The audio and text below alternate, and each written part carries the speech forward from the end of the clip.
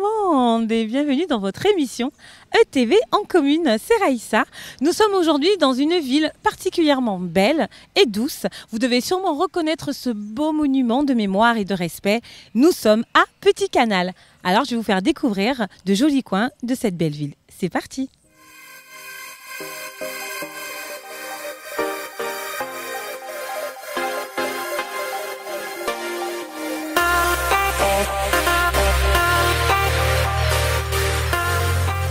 Alors là, nous sommes à Petit Canal en compagnie de Françoise. Bonjour Françoise. Bonjour. Comment ça va Françoise? Ça va Oui, je te vois avec le sourire là. Tu es dans la rue, tu te balades. La vie est belle?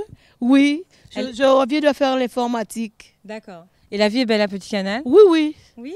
Tu es d'où Je suis du Moule et j'habite à Gocap.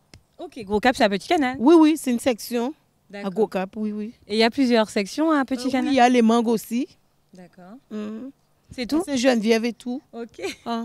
Et en fait, qu'est-ce qu'il y a de beau à voir à, à- à Petit Canal? Eh bien, il y a la maison de citoyenneté que le maire a fait. euh, il y a le port et il y a ceux qui sont en, en construction. D'accord. Et il fait bon vivre à Petit Canal? Oui, il fait bon vivre et j'envoie un grand coucou pour le maire parce qu'il est très sympa. Mais je te remercie Ah oui. et à très bientôt. Merci beaucoup.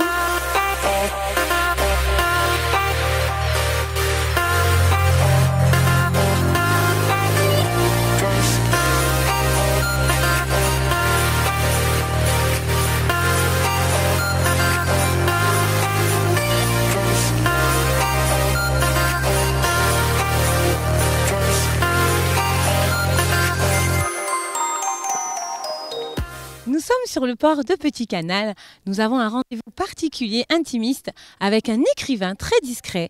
Personne ne sait à quoi il ressemble. Il s'appelle Frédéric Légrand-Terrien et il est très doué. Bonjour Frédéric. Bonjour Resta, bonjour à tous les téléspectateurs de TV. Alors je vais m'asseoir à côté de toi, Avec plaisir. si tu me le permets. Oui, oui. Alors Frédéric, est-ce que tu peux me dire euh, aujourd'hui ce qui t'a donné envie déjà d'écrire?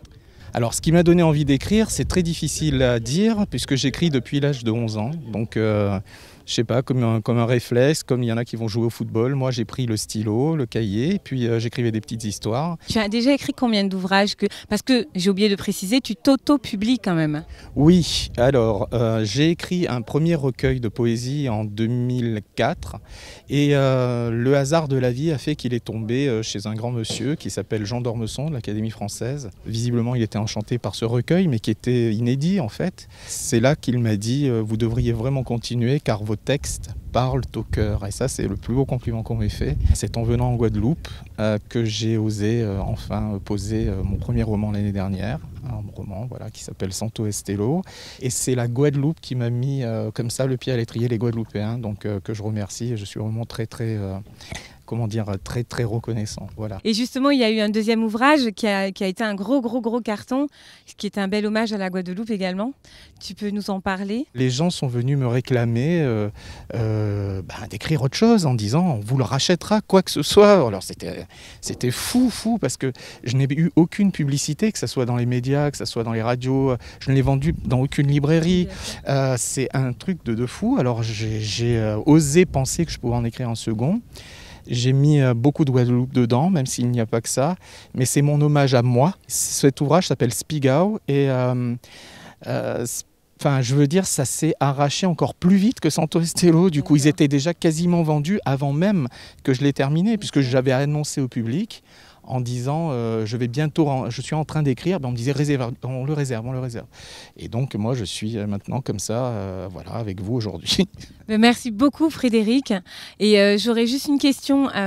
après autant de, temps de, discrétion, et, est-ce que tu te sentirais prêt à dévoiler ton visage Puisque je sais que tu es resté enfin, dans l'anonymat, entre guillemets.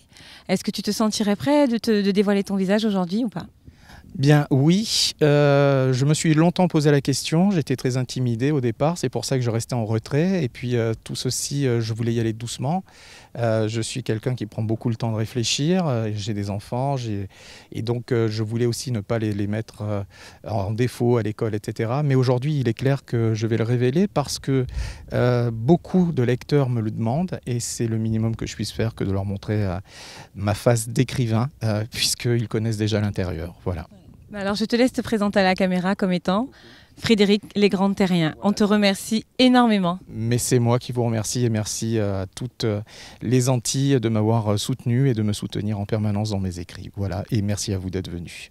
Et petite question, comment fait-on pour te contacter? Alors c'est très facile, il suffit euh, d'envoyer un email à lesgrandsterriens tout attaché au pluriel en minuscule gmail.com et puis à partir de là, bien on peut me demander euh, euh, donc où c'est qu'on peut se procurer les exemplaires donc de mes ouvrages et ça sera avec grand plaisir que je répondrai. Mais c'est super, c'est parfait. Donc je vous encourage à, ben, à commander lorsqu'il y en aura un prochain.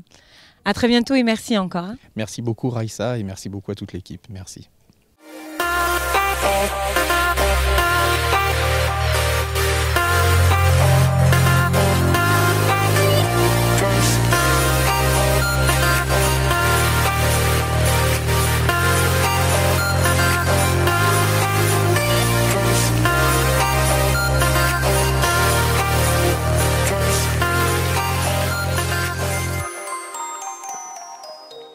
voilà, c'est trop triste, c'est terminé. ETV en commune vous remercie et vous donne rendez-vous dans une autre commune. Aujourd'hui, nous étions à Petit Canal. Merci à toute la population et à très bientôt. Bye bye